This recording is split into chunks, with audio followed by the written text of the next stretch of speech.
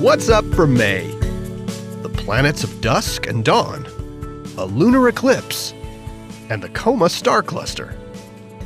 May begins and ends with a couple of great planet spotting opportunities.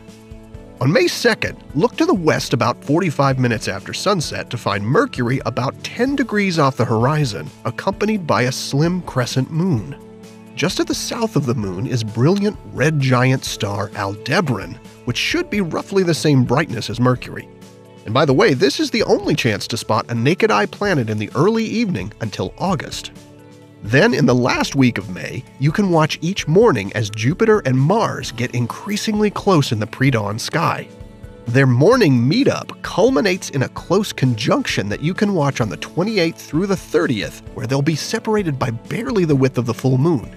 Should look incredible with binoculars, where you can also see Jupiter's largest moons. Skywatchers in the Western Hemisphere can look forward to a total lunar eclipse in mid May, the event will be visible across the Americas, Europe, and Africa, basically anywhere the moon is visible above the horizon at the time.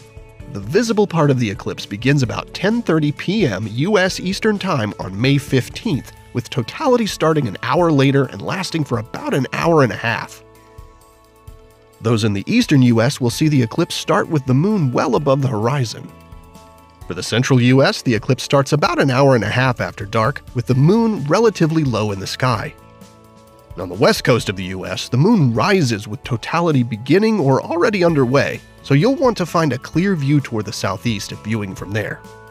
Now, lunar eclipses are the ones that are safe to look at directly with your eyes, or binoculars, or a telescope, unlike solar eclipses.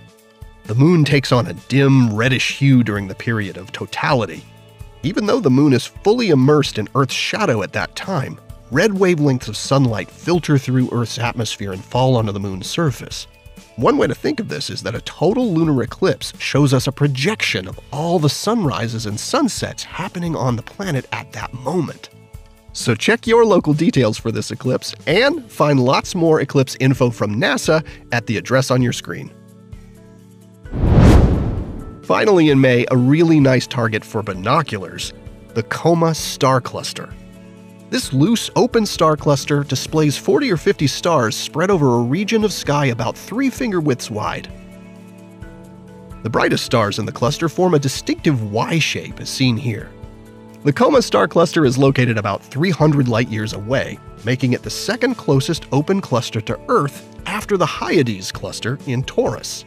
To find the Coma star cluster, look southward for the constellation Leo. It can be easiest to start from the Big Dipper toward the north and use the two pointer stars on the end, which always point you toward Leo. Once you've identified Leo, the Coma star cluster is about 15 degrees to the east of the triangle of stars representing the lion's hindquarters.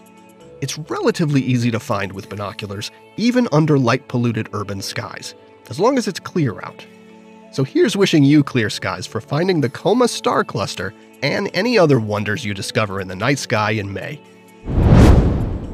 Here are the phases of the moon for May.